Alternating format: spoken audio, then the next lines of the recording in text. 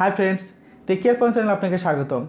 আজকে আমি আমার ভিডিওতে দেখাবো কীভাবে বিকাশের মাধ্যমে পল্লী বিদ্যুতের বিল দেওয়া যায়। তো প্রথমে আর কথা বাড়াবো না, চলে যাব সরাসরি মূল কাজে। বিস্তারিত জানতে হলে অবশ্যই শুরু থেকে শেষ পর্যন্ত সঙ্গেই থাকবেন। ফিরছি একটি ইন্টার পরেই।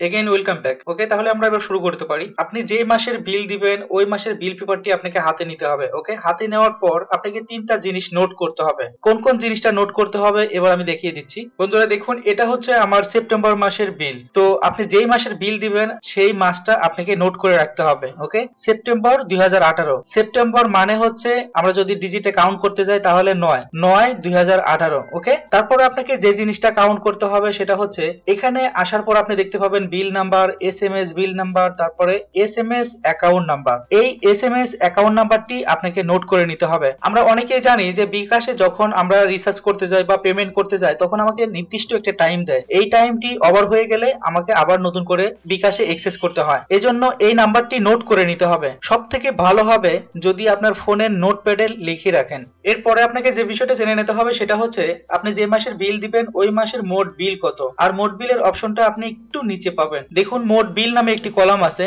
এই মোট বিলটাই হচ্ছে এই মাসের টোটাল বিল এটা আপনাকে জেনে নিতে হবে, ওকে? আমরা তিনটা বিষয় জানলাম, এবার আমরা বিল দিতে যাব। বিল দিতে যাওয়ার জন্য অবশ্যই আপনাকে তিনটা জিনিস মনে রাখতে হবে। একটা জিনিস হচ্ছে আপনি কোন মাসের বিল দিচ্ছেন, তারপরে হচ্ছে আপনার S M S account number তারপরে হচ্ছে আপনি যে মাসের বিল দিবেন, সেই মাসের total bill finally bill pay করতে যাওয়ার আগে আপনি দুইটা জিনিস করে নিতে পারেন। একটা হচ্ছে আপনার এস এম এস বিল নাম্বারটা আপনার ফোনের নোট প্যাডে অথবা ডায়াল প্যাডে আপনি লিখে নিতে পারেন। ওকে? লিখে নেওয়ার পর আপনি কপি করে নেবেন, ওকে? আমি কপি করে নিয়েছি। আর আরেকটা জিনিস হচ্ছে, আপনার যত টাকা বিল আসছে বা যত টাকা আপনি বিল পে করবেন, সে পরিমাণ ব্যালেন্স আপনার বিকাশে আছে কি না যদি থাকে, তারপরে আপনি স্টার্ট করতে পারেন, ওকে? এবার আমরা বিকাশে বিল পে করতে যাব। এর জন্য আমাদের প্রথমে স্টার টু ফোর সেভেন বিকাশের যে ইউএসএসডি কোডটা আছে, সেই কোডটি ডায়াল করতে হবে। তারপর ফোন দিতে হবে। ওকে? এটা হচ্ছে বিকাশের মেনু এবার এখান থেকে পাঁচ নম্বরে পে বিল অপশনে ক্লিক করতে হবে। এরপরে এখান থেকে এক নম্বরে ইলেকট্রিসিটি, এটা সিলেক্ট করতে হবে। তারপরে এক নম্বরে আছে পল্লী বিদ্যুৎ, এখান থেকে এক নম্বর সিলেক্ট করতে হবে। তারপর সেন্ট। তারপর দুই নম্বর পে বিল।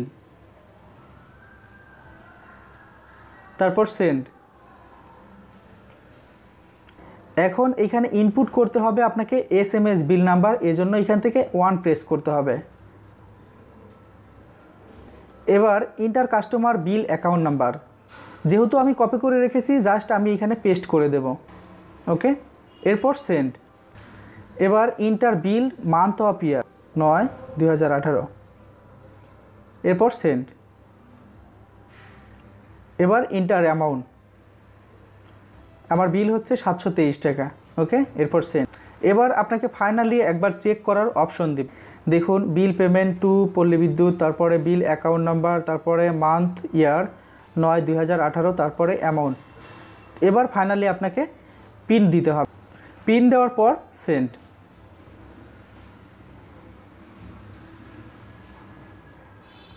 ওকে? ফাইনালি সেন্ড করার পর আপনি এরকম একটি অপশন দেখতে পাবেন রিসিভ পে বিল এবার এখান থেকে আপনি ওকে করে ক্লোজ করে দিবেন। ক্লোজ করে দেওয়ার পর আপনার মেসেজের ইনবক্সে যাবেন। ইনবক্সে যাওয়ার পর দেখবেন বিকাশ থেকে মেসেজ আসছে। এবার আপনাকে যেটা করতে হবে, এখানে যে ট্রানজ্যাকশন নাম্বারটা থাকবে, এই ট্রানজ্যাকশন নাম্বারটা আপনার বিদ্যুৎ বিলের উপর লিখে রাখবেন ওকে লিখে রাখার সুবিধা হচ্ছে কি, আপনার এই বিল নিয়ে যদি কখনো প্রবলেম হয়ে থাকে, তাহলে ওই ট্রানজ্যাকশন নাম্বারটা দিয়ে আপনি এটা ট্র্যাক করতে পারবেন যে এটা কোথায় পেমেন্ট হয়েছে ওকে এই ট্রানজ্যাকশন নাম্বারটিই হচ্ছে আপনার মেইন এরপর আপনার স্যাটিসফ্যাকশনের জন্য আপনি যেটা করতে পারেন, সেটা হচ্ছে আপনি বিদ্যুৎ অফিসে গিয়ে একবার কনফার্ম হতে পারেন যে আমি এস এম এস করে বা বিকাশের মাধ্যমে আমি বিদ্যুৎ বিল দিয়েছি। আমার বিদ্যুৎ বিলটা কি কনফার্ম হয়েছে বা একসেপ্ট হয়েছে কি না ওকে তো এভাবে বিল দিলে আপনাদের কোনো সমস্যা হবে না, সেই সাথে আপনাদের সময় বাঁচবে, শ্রম বাঁচবে এবং টাকাও বাঁচবে। ওকে এই ভিডিও সম্পর্কে যদি আপনার কোনো মতামত থাকে অথবা কোনো প্রশ্ন থাকে, তাহলে দয়া করে আমাকে কমেন্টের মাধ্যমে জানাবেন। সেই সঙ্গে আমার ভিডিওটি যদি আপনাদের ভালো লেগে থাকে, তাহলে দয়া করে একটি লাইক দিবেন কমেন্ট করবেন এবং বন্ধুদের সঙ্গে শেয়ার করবেন। আর পরবর্তীতে আরও আপডেট টিউটোরিয়াল পাওয়ার জন্য দয়া করে আমার চ্যানেলটি সাবস্ক্রাইব করবেন। আপনার সঙ্গে হয়তো আবারও দেখা হবে নেক্সট কোনো টিউটোরিয়ালে সে পর্যন্ত ভালো থাকবেন, সুস্থ থাকবেন, এই শুভকামনা। টাটা।